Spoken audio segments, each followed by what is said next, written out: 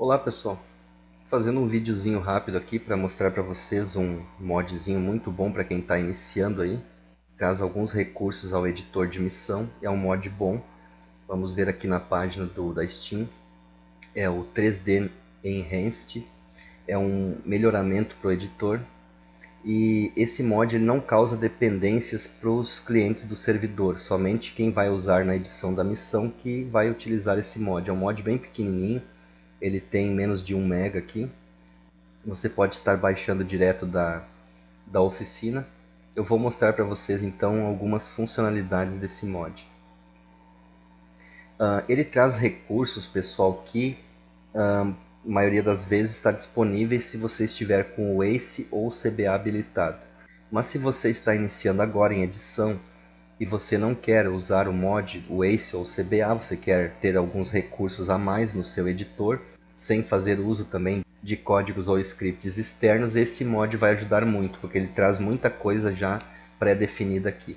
Por exemplo, vamos colocar aqui no mapa uh, Vamos colocar aqui uma estrutura, por exemplo, pode ser aqui uma casa.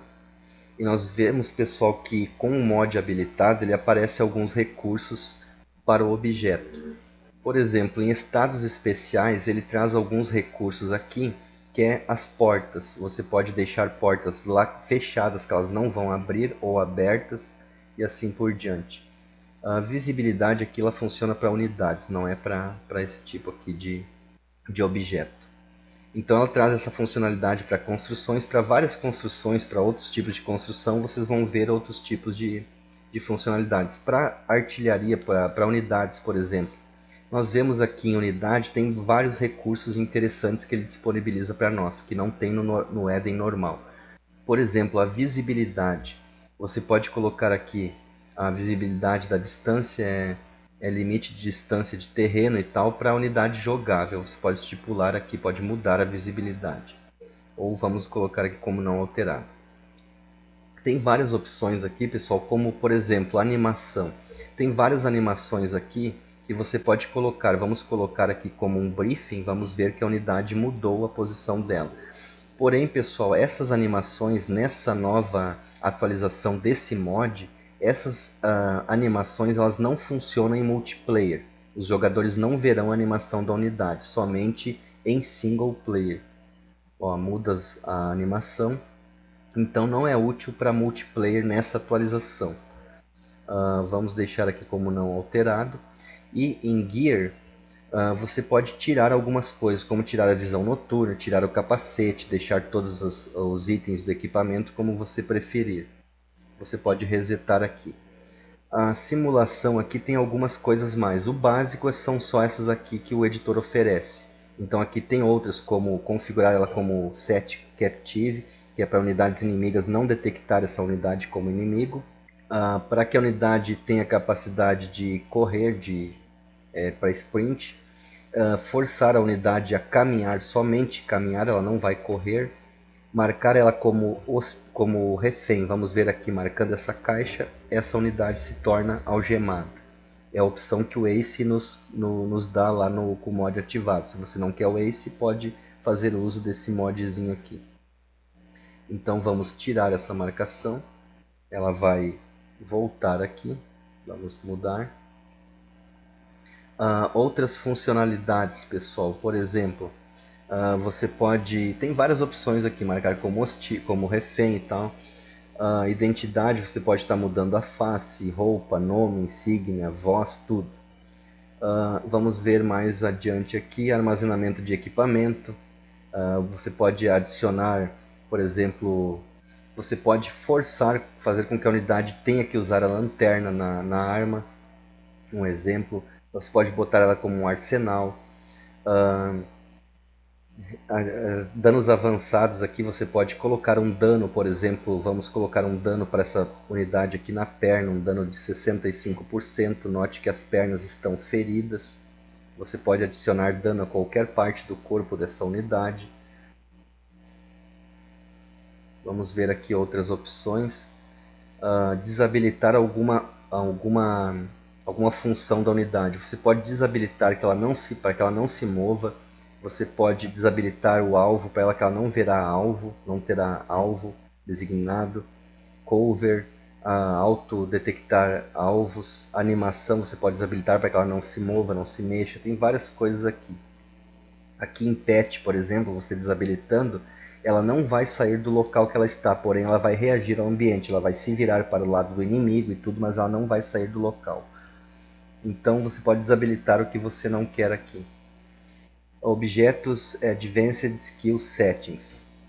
Você pode mudar aqui, por exemplo, a coragem dessa unidade, se ela ficar mais, mais covarde ou mais corajosa, o grau de, de, que ela vai ser assim, por exemplo, ela vai dar instruções ou comandos, a velocidade para recarregar a arma, a velocidade, a, aliás, a distância que ela vai spotar alvos, o tempo que ela vai levar para que spote uh, os alvos inimigos, a armadura, e tempo para recarregar a arma, tudo tem várias coisas aqui.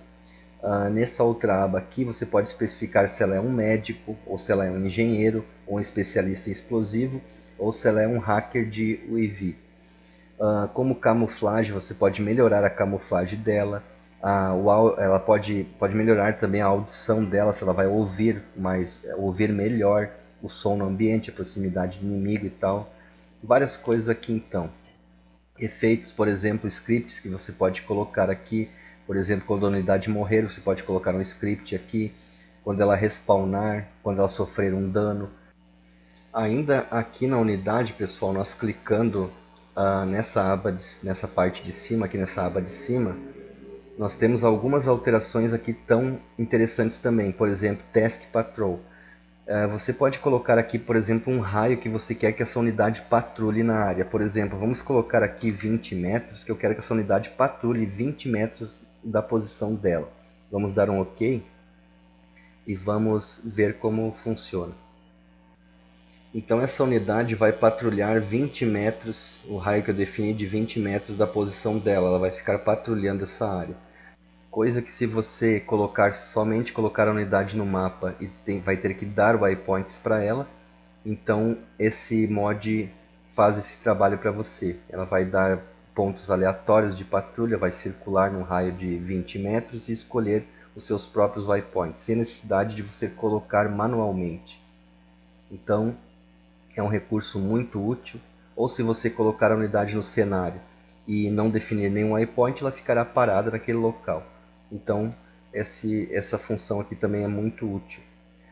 Vamos voltar ao editor. Então tem várias melhorias, pessoal, que esse mod traz. E o bom desse mod aqui é que é, você não, é, não vai causar dependência para os usuários dos seus servidores. Não precisam ter esse mod. Esse mod somente o editor precisa ter ele habilitado. Você pode salvar o, o seu arquivo em PBO e tal. E não vai ser necessário uh, ter dependências nesse mod. Então você pode estar usando aqui opções de que o ACE ou o CBA ofereceriam e você pode estar usando uh, tendo esse mod sem usar o ACE ou CBA. Eu aconselho vocês uh, experimentarem o ACE, o CBA, porque são mods muito bons.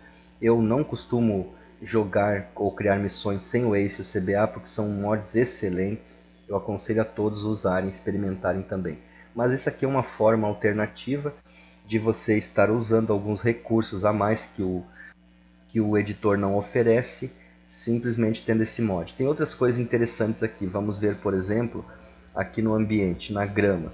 Você vindo aqui em ferramentas, você tem as opções aqui também.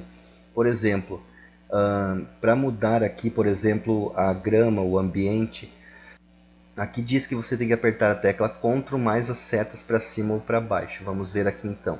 Nós vemos que nós temos grama no cenário. Eu vou apertar CTRL e a, e a seta de direção para baixo. Note que não há mais grama no cenário. Você pode diminuir ou aumentar, pode pôr grama ou tirar a grama. Isso vai refletir em toda a sua missão. Conforme o jogo for salvo, vai salvar essas preferências aqui. Ainda em ferramentas, na mesma opção, você tem várias coisas aqui, como outros tipos de movimento de para usar na unidade de, com mouse e tal, uh, utilidades, tem várias coisas aqui que eu posso mais tarde estar explicando para vocês. Como eu uso o Ace, uh, o Ace ou CBA, eu não uso esse mod aqui. Eu já usei um tempo atrás, mas como teve atualizações agora, eu não estou tão familiarizado com ele, mas eu posso dar uma rápida visualizada aqui, retomar aqui o, o que eu posso, eh, dar uma olhada aqui no que eu posso fazer e fazer um vídeo bem mais autoexplicativo para vocês mais tarde. Mas como eu usava uma versão aí de um ano e pouco atrás, mudou muita coisa aqui. Vamos ver aqui briefing. Tem um editor de briefing aqui, pessoal. Você pode colocar aqui uma tela inicial para sua missão, os briefings, o diário, aquele que nós vimos nos, vídeos, nos primeiros vídeos sobre os modos de criar diário. Você pode colocar vídeos e tal aqui, pode fazer muita coisa legal com esse mod. Então fica a dica aí, pessoal. É isso aí. Dá um likezinho no vídeo aí, se inscrevam no canal, ajude a compartilhar. E é isso aí. Fui.